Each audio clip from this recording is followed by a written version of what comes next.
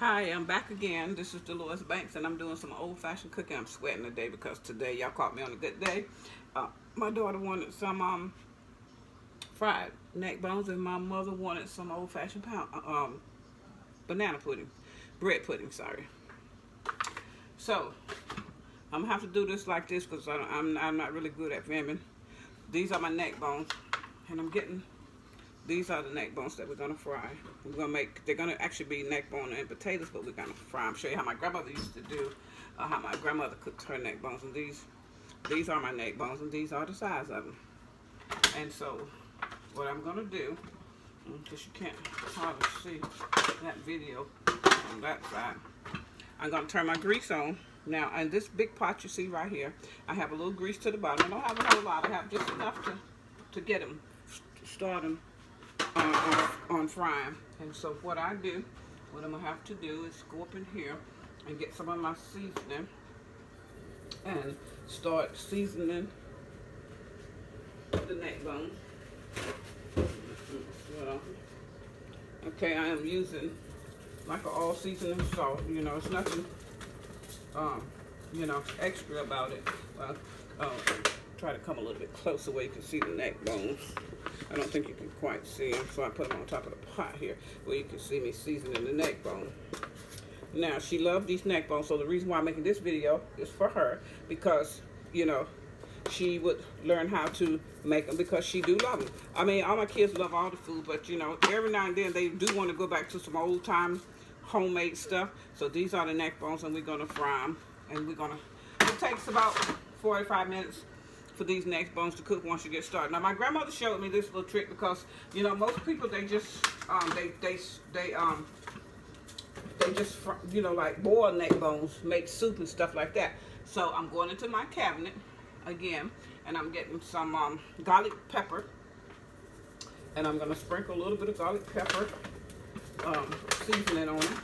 Give them a season for when you're frying them. And so again, you can't hardly see that and put that back into the cabinet. And then um, I'm going to get some Worcestershire. I'm going to use some Worcestershire. Now my grease is getting hot. And so now I take the little Worcestershire and spread on the neck, neck bones. Season them up real well with that. And basically this is how they look. It don't take a whole lot. Um, I got a little Worcestershire, got a little garlic on there, got a little soul uh, seasoning on there, kind of like all seasoning. Okay, and then um, I, this is my add on here. I'm gonna add a little white wine to it, uh, white wine vinegar um, to it, and just sprinkle a little bit of that on there. I'm gonna grab my flour.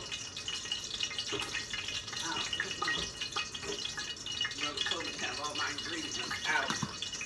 So then I'm to sprinkle a little flour on the neck bone. Not a whole lot, just a little sprinkle where they can, you know, start to fry and make a little, little and I'll show you how that come out. Because of the way I'm skimming, really not sure. It doesn't take a whole lot. We're not battering, you know. We just put a little bit here and we make it look like this. And this is the way it's supposed to look. It's not supposed to be a whole lot. You're not frying chicken, we're frying neck bones, okay? And so you take it, this is the back of the neck and this is the front. This is where the flour. I'm gonna lay it down in this pot, okay? It's a little hot in here, so I'm sweating. And we lay them down in the pot, and they start they start to fry. Okay?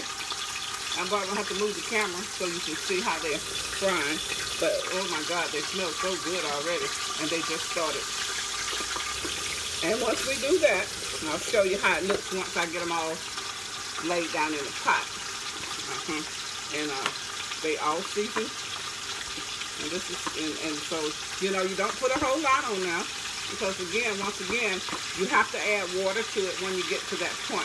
All right, so now that we got them frying in the pot, since you can't see my camera, so what I'm gonna do is pick the camera up. I'm gonna show you guys how it look when it's, how they look in the pot. The pot. They're frying in the pot. Okay, you can see that because I can't see it, but I'll be able to see it later. And this is how it looks when they're frying in the pot. And all I'm gonna do right now is put a lid on it and let that fry. And it's got the grease, and that's the amount of grease I use. And I'm just gonna let that fry until I get ready to add my other ingredients. Flip them over one time and let them cook the other side the same way. Okay? So, I don't know until after this over with if y'all see that or not.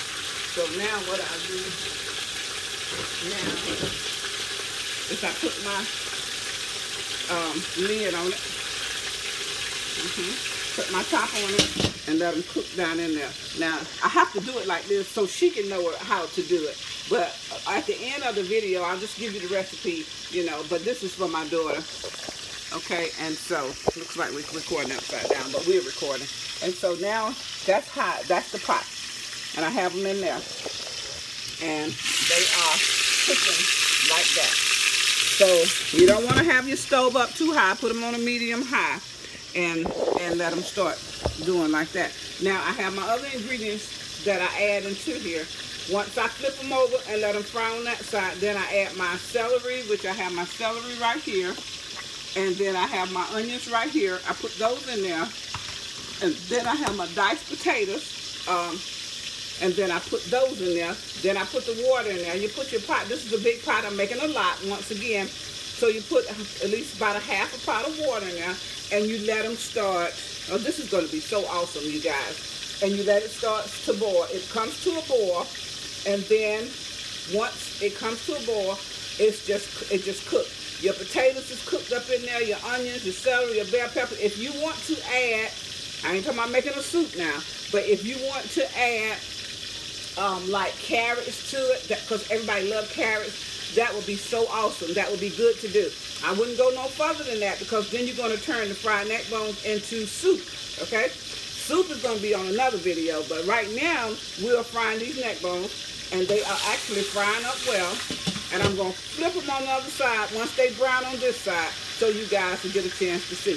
Now, um, just take a little bit of time and that way my baby, she knows um, how to do this. So, you know, I just want you guys to know this is, uh, you know, it ain't a five minute process or a five minute meal, but it's a really good meal and it's a healthy meal, okay? And now you say neck bones, you young people say, well, we don't you know neck bones. Yeah, you do. My daughter, she's 29. She loves neck bones, but I don't cook them that often. But I was cooking them today, so I decided to go ahead and make this video. Okay? But you can actually, um, a lot of people love neck bones. You could do it this way, or you could do it the really old blah fashion way, which is just season them, put them in a pot, cut you some onions up and some potatoes, and let them just steam down and let them cook. But unfortunately, this is not that meal. This is fried neck bone, and this is my grandmother's recipe, and it is so awesome. You guys wait till you see the uh, finished product. I hope you guys are having a wonderful day and I will get right back with you as soon as I flip them.